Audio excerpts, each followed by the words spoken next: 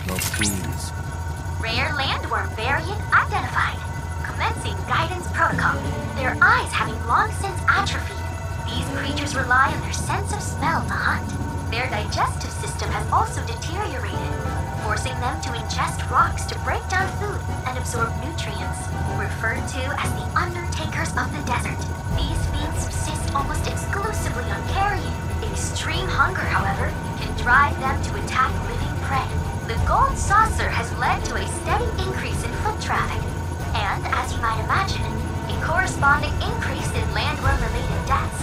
To protect these travelers, we must understand what makes.